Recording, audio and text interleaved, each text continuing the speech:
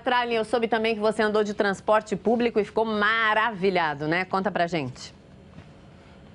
Pois é, a gente deu uma volta no monotrilho, né? A gente sabe que aí em São Paulo tá, tem uma obra grande já de algumas linhas do monotrilho, né? E a gente resolveu experimentar, né, para saber como é que funciona aqui, como é que é isso e tal. E olha, realmente é muito legal, principalmente a questão da pontualidade a questão do, do, espaço entre um trem e outro é muito curtinho, quer dizer, a todo tempo está chegando uh, novos trens. E você observa, assim, uh, o cuidado que eles têm né, com a questão da eficiência, tudo muito automatizado. É uma rede maravilhosa que circula a 80 km por hora, né? Então é bem legal. A gente deu uma volta numa das linhas mais importantes aqui da região central de Tóquio. E você vai ver agora um pouco como é que funciona o monotrilho japonês. Veja aí.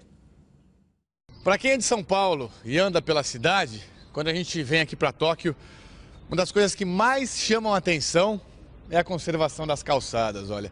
As calçadas são impecáveis, limpinhas, bem arrumadas, não tem buraco, não tem armadilha para você cair.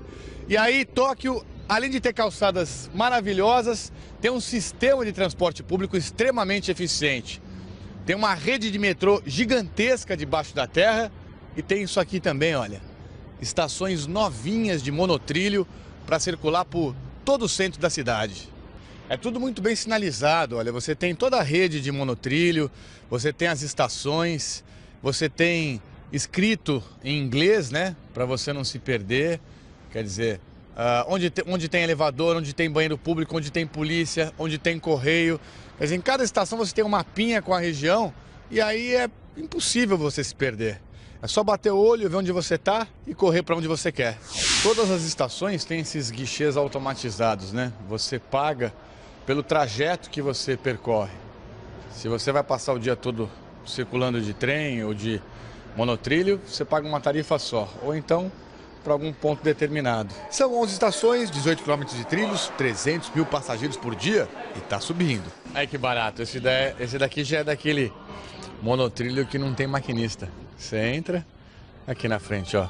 Os passageiros vão sentados com essa vista privilegiada, todo mundo na cara do gol para fazer a viagem. É só alegria lá. Como tudo no Japão, bem-estar sempre em primeiro lugar.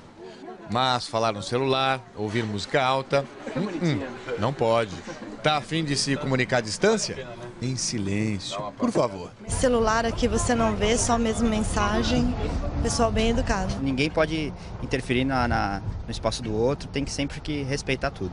O Bonotrilho de Tóquio não atrasa, não quebra nunca. Tem aprovação de 90% dos usuários.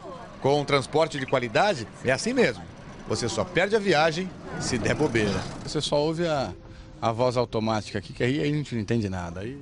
Não dá para entender nada mesmo. Aí já era. Aí você tem que ficar de olho na placa para descer. Vamos embora.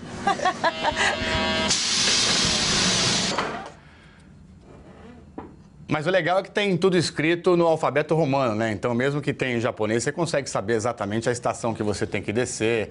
Como eu disse, é só ficar esperto para você descer no local correto. É realmente muito legal, gente, assim, você observar esse cuidado que existe com o transporte público aqui, né? Além do monotrilho, tem trem e metrô para toda a cidade. O subterrâneo inteiro de Tóquio é rasgado por linhas de trem e metrô. Para vocês terem uma ideia, só para os aeroportos tem duas linhas, né? E as linhas são privatizadas, são particulares, elas ficam disputando entre si qual tem a melhor qualidade. Então, enquanto a gente não tem aí em São Paulo uma linha de metrô ou de trem que vá para Cumbica, para Guarulhos, enfim, aqui tem mais de uma linha para cada um dos aeroportos mais importantes e mais do que isso, né? As linhas tem que ter uma qualidade absoluta, porque o passageiro cobra muito isso aqui uh, do governo. Então é bem legal a gente poder observar esse grau de diferença de cuidado que tem com o transporte público. Para vocês terem uma outra noção de como é isso aqui no Japão, o Roberto Kovalik, que é o nosso correspondente internacional, que mora aqui há mais de quatro anos, ele nem carro tem. Hum. O Malik mora fora aqui num dos bairros aqui de Tóquio, ele com a família, ele só circula de trem, de metrô, de ônibus e numa emergência de táxi. Quer dizer, não precisa de carro numa cidade como Tóquio, que tem 12 milhões de habitantes, do tamanho da nossa São Paulo. Já pensou isso, Monalisa? Nossa, Daqui a pouco a gente babando. volta ao vivo aqui de novo. Tô aqui babando com essas informações todas e sonhando para um dia a gente ter aqui. Daqui a pouco a gente conversa mais, Trali. Obrigada, já já. Bom, aqui na capital estão sendo construídas duas linhas de monotrilho.